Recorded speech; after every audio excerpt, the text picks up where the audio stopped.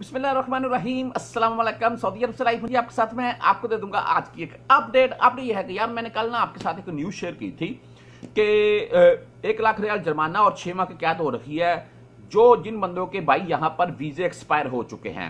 اچھا ان میں سے بہت سے بندے پوچھ رہے تھے کہ بھائی، ہمارا تو اکامہ ایکسپائر ہے، تو کیا ہم بھی اسی زمرے میں آتے ہیں؟ یعنی کہ جن بندوں کا اکامہ ایکسپائر ہے، کیا وہ بھی جب اب بھائی خروج کے تھرو یا جیل کے تھرو یا سفارے کے تھرو کدھر سے بھی جانا چاہیں گے اپنی کنٹری میں، دو دو تین تین اکامے ختم ہیں، تو کیا ان کو بھی ایک لاکھ ریال جرمانہ اور چھ ماہ قید ہوگی؟ تو بھائی، اس کے متعلق آپ کے ساتھ وضاحت پیش کر دوں سب سے پہلے یہاں پر آپ کو وہ ٹویٹ دکھا دوں جو اخبار الاجل یعنی کہ جوازات کی طرف سے کی گئی، اس کے بعد یہ اخبار الاجل کی بھی طرف سے یہ ٹویٹ کر دی گئی۔ آپ بھائی، یہ ٹویٹ دیکھ لیں۔ نے اس میں کیا لکھا ہے؟ سو الف ریال۔ ایک لاکھ ریال کا جرمانہ لکھا ہوا صاف ظاہر ہے جی۔ اس کے متعلق یہ کہا جا رکھا تھا کہ بھائی جو عمرہ پر آئے ہوئے ہیں، پہلے سن لیں۔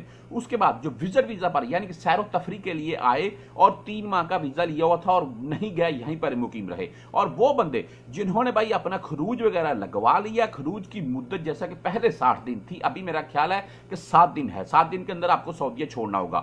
وہ بندے یعنی کہ خروج تو لگوا لیا، لیکن مدت بھی گزر گئی، پھر بھی یہیں پر مقیم ہے ان بندوں کے لیے کہا گیا ہے، نہ کہ ان کے لیے، جن کے اکامے ایکسپائر ہیں، ان کے لیے۔ آپ کا اگر اکامہ ایکسپائر ہے رینیو کیجیے بھائی، یہی آپ کے لیے بیسٹ ہے۔ ورنہ آپ کو ایسا کوئی بھی کسی قسم کا آرڈر نہیں دیا گیا ہے۔ ہاں ان بندوں کو ضرور کہا گیا ہے اور اس کے اوپر بھی عمل آنے والے دنوں میں ہی شروع کر دیا جائے گا۔ آپ بھائیوں نے اس کے مطلب کوئی بھی اور نیوز دیکھنی ہو تو مجھے کمنٹ کیجیے گا۔ آپ نیچے کا خیال رکھیے گا۔ اللہ حافظ۔